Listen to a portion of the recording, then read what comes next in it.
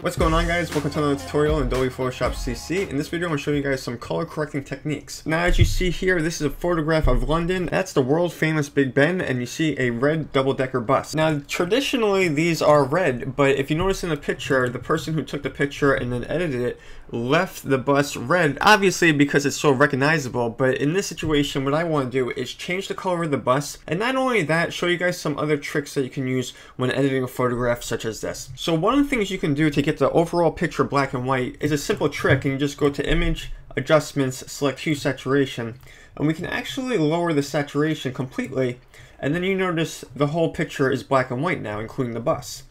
Now I'm going to cancel that out and I'm also going to go to image, adjustment, and then actually select black and white.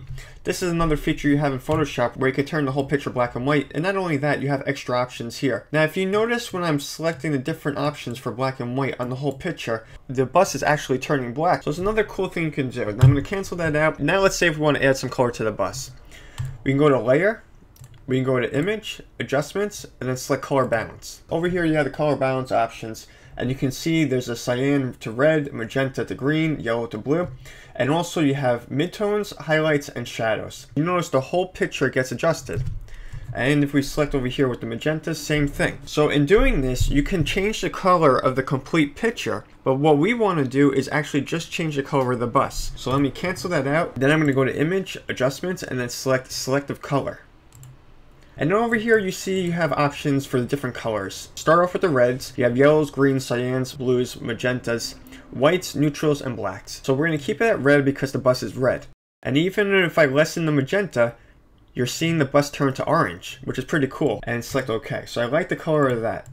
So if you zoom in here, you notice that the bus color was changed. The reason why I would recommend doing it like this is because rather than create a path, which you can also do, you can go to Window, select Paths, and in this situation, you can create yourselves a new path, select the pen tool, and then start drawing around the bus, and then only select that bus, and then bring it over here for selection and you can start changing the color. But again, for this, it's the perfect solution just to address the color itself. So again, you would go to image, adjustment, and then select selective color. You can even lower the magenta even more and you get a yellow color and we can increase the yellow if we want. We can lessen the yellow so we can tone that down.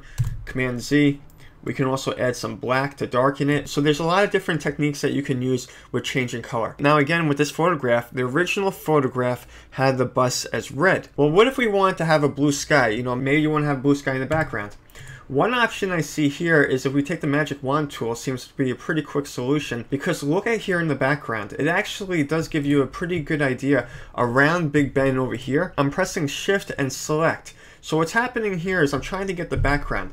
But one thing I do notice here when I try to do this with the magic wand tool is that it's selecting this too in Big Ben. So what I'm going to do is actually take the background itself, Command D, and I'm going to create a path. This is going to take a bit of effort to do, but it's going to be worth it if we want to change the color of the sky. First thing we're going to do here is create ourselves a path, and I'm going to select the pen tool, and then start creating a path for the background.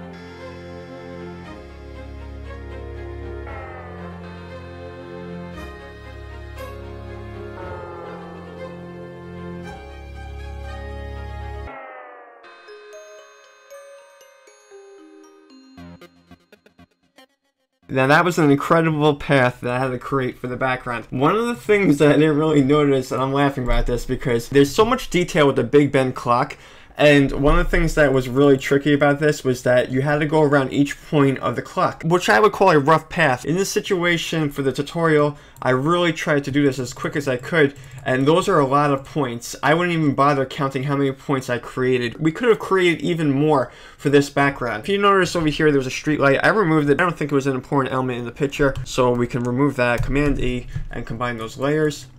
And now we can get to actually adding color. I'm going to take this path and select the path.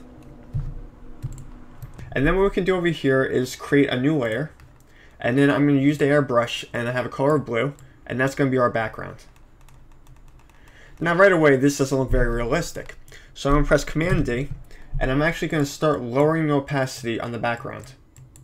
And you can also lower the fill if you want to. That way it just starts blending in with the background. You can even see some elements of clouds. Very subtle trace of clouds in the sky. So from afar, this doesn't look too bad, and if you zoom in on the clock, it's a pretty good silhouette. Again, I consider this a rough silhouette. So that's pretty much it for this tutorial. If you guys have any comments, post your comments down below, and of course, if you like this video, give it a thumbs up. I'll see you guys in the next tutorial. Peace out.